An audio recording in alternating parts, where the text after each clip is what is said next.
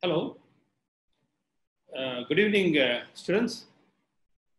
Welcome back again to the session of uh, our uh, safety training program.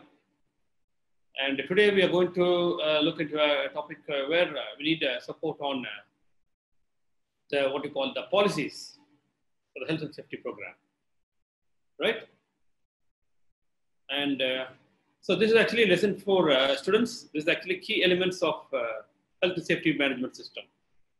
So now we are getting to the uh, program of uh, the what are the key elements of the health and safety program. The key elements there are eight key elements are there in this uh, health and safety program. That means we need to know what are the basics of the health and safety uh, program and what is the necessity and who will control all these things. So these are all the topics we are going to discuss on today's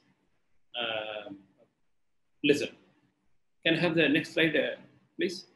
And uh, the key elements, uh, starting with uh, policy, organizing, plan and implement, evaluation, action for improvement, audit. Then the last one, continual improvement.